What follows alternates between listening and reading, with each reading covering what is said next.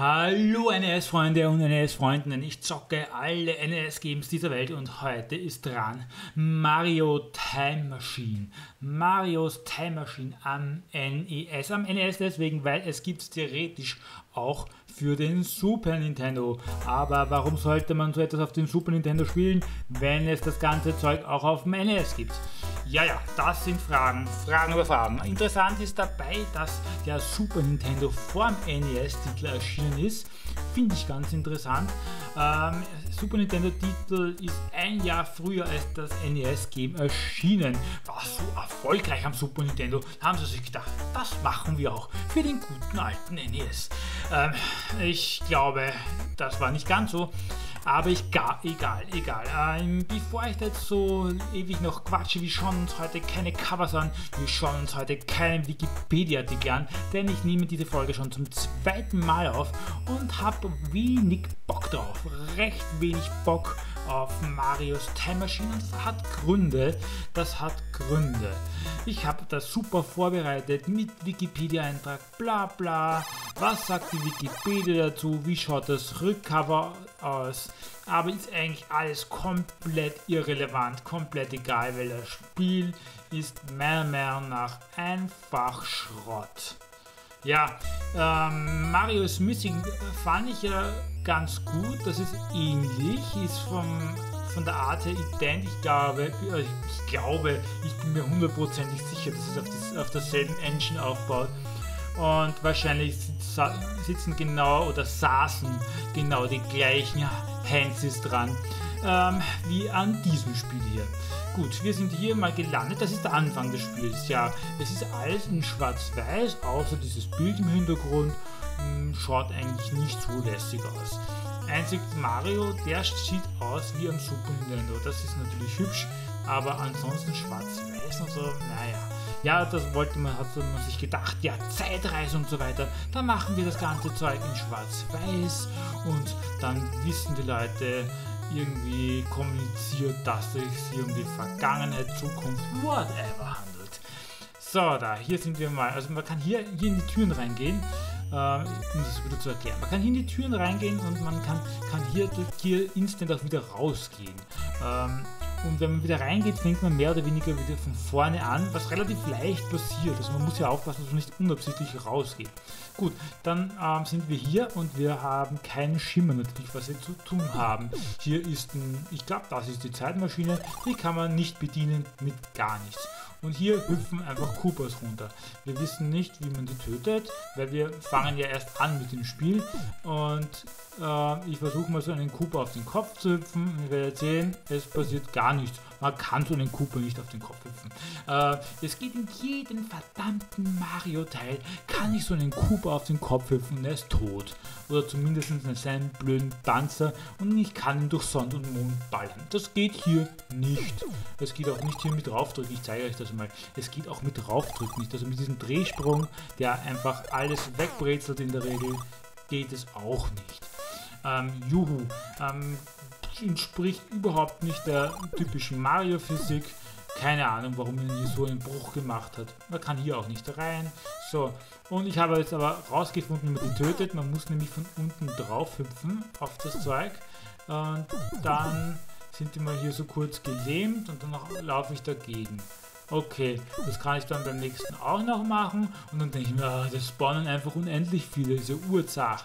Ähm, nein, tun sie nicht, das spawnen nicht unendlich viele, sondern genau drei. Und der dritte hinterlässt so etwas. Ähm, woher soll man das wissen? Ich habe immer zwei gekillt, denke mir, was geht hier? Ist Zach, geh ins nächste Level. Und da ist genau das gleiche passiert.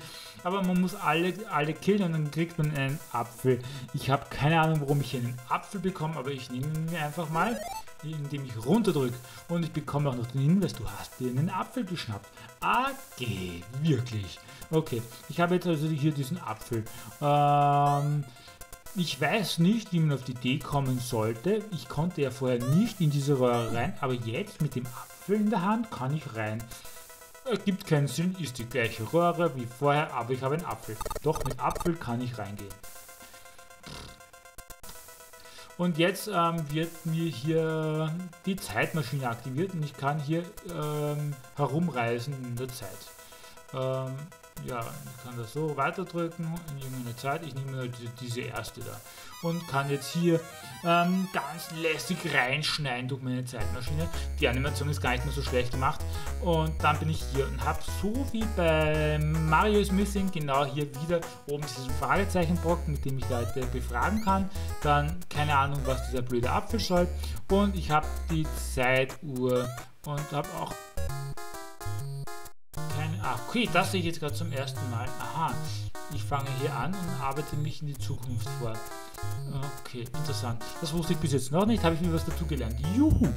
Ähm, auf jeden Fall sind hier diese tollen, hässlichen Zeituhren hier. Ich, ich nehme an, das sind Zeituhren. Und auf die kann ich zum Beispiel draufhüpfen. Und und sonst nichts, glaube ich. Kann da von unten dagegen hüpfen, bringt auch nichts. Aber dann gibt es solche Zeituhren, ähm, die ein bisschen eine andere Farbe haben und die kann ich drehen. Und wenn ich sie sich drehen, dann kann ich auch, durch, kann ich auch durchhüpfen. Und dann gibt es hier einen Infoblock und da kann ich mir jetzt eine, eine fette Info zu fetten Dinosauriern holen. Und ja, juhu. Ähm, wir wissen, woher das Wort Dinosaurier kommt und freuen uns. Juhu, wir haben was gelernt. Wir wissen, woher das Wort Dinosaurier kommt. Okay, und jetzt gehen wir weiter. Ich glaube, mehr ist es nicht. Oh, jetzt, jetzt will mich der hier hauen und schafft es aber nicht, weil man mich nicht töten kann. Mhm. Okay. Hier im Hintergrund ist ein Dino. Freut mich sehr. Preiselbär, da ist so einer. Und jetzt kann ich ihm aber wieder auf den Kopf hüpfen, den Cooper. Ging ja vorher nicht. Ähm, Tja, also Logik null. Einfach, einfach, einfach keine Logik. Kann ich denn... Gut, ich brauche jetzt nicht diesen Apfel. Irgendwas muss ich mit diesem Apfel machen. Und jetzt kommt ein Vogel und nimmt den Apfel weg. Okay, so weit habe ich es auch noch nie gespielt. Ähm, okay, der Vogel hat den Apfel weggenommen. Und habe ich jetzt noch einen Apfel oder ist der jetzt weg für immer? Der ist jetzt weg für immer. Gut. Ähm, also gut, schlecht, ich weiß es nicht so genau. Da ist wieder der Heinze, da nimmt man wieder den Kopf. Ich weiß nicht, was der bringt. So, da, aha, da wollte ich jetzt eigentlich gerne durch. Ging nicht, weil das ist ein, so ein Mist aufgedacht. Die Dinosaurier im Hintergrund hätten uns ruhig animieren können. Die stehen da, wie es wären sie eingefroren. Ist die Eiszeit vielleicht schon gekommen und die Dinosaurier sind kurz zum Aussterben? Man weiß es nicht so genau. Ich glaube ähm, eher nicht. So, hüpfen wir da mal weiter, holen wir uns den Infoblock und was haben wir da?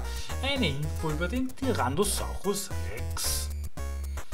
Wenn der kommt, besser weglaufen und in der Höhle verstecken. Gut, hätte ich sonst nicht gewusst, wenn ein großes Tier herumstapft, in der Höhle verstecken. Gut, wichtiger Tipp. Wichtig, noch ein wichtiger Tipp.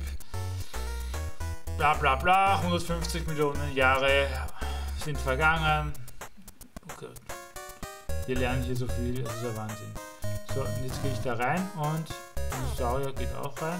Ist es ein Dinosaurier? Was macht er? Warum geht er da rein? Und warum kann ich da wieder rausgehen? Und wo ist mein verdammter Apfel hin? So. Hm. Der respawnt hier, glaube ich, bis in die Unendlichkeit. Ich kann jetzt nicht jetzt auf das Fragezeichen gehen. Ähm, mir das jetzt irgendwas? Kann ich jetzt mit dir irgendwie interagieren mit dem Fragezeichen? Nein, du haust mir einfach nur auf den Kopf. Gut, der haut mir auf den Kopf und kann ich da jetzt irgendwie weiterreisen mit dieser Ansicht? Nö, auch nicht. Gut. Äh, Soll ich das jetzt noch weiter zocken ein bisschen oder nicht? Wie weit sind wir? 8 Minuten 50. Ähm, ja, ich weiß nicht, ich rante ja relativ selten über Games, aber das nervt mich richtig, wenn, wenn ein Spiel inkonsistent ist. Überhaupt, wenn das von Nintendo ist, dann gibt es einfach kein Pardon. Die, die Jungs wissen, die wussten schon damals, wie der Hase läuft, wie man das macht. Und dann so einen Mist abzuliefern, das verstehe ich einfach nicht. Das, das entgeht meiner Logik. Das verstehe ich nicht. Das will ich auch gar nicht verstehen. Das will ich nicht verstehen. Gut, ich habe jetzt den Apfel geholt, ich habe den Apfel wieder verloren, ich weiß nicht, wo der Apfel hin ist und es ist mir auch verdammt nochmal egal, was los ist mit diesem Apfel, denn das war für, war's für mich mit Marios Time Machine. Heute gibt es kein Betteln um Likes, nein, das gibt es heute nicht und ich sage euch nichts, abonnieren bitte, bla bla bla, gibt es heute alles nicht, weil ich mache jetzt einfach Schluss, das reicht mir mit Marios Time Machine. Heute mal ein bisschen mehr aggro, das Let's Play, ich weiß, Ähm, wenn euch das gefällt, dann gebt mir einen Daumen hoch. Ah, der war gut, oder? Gut. Ciao Leute, das war's. Ich bin raus.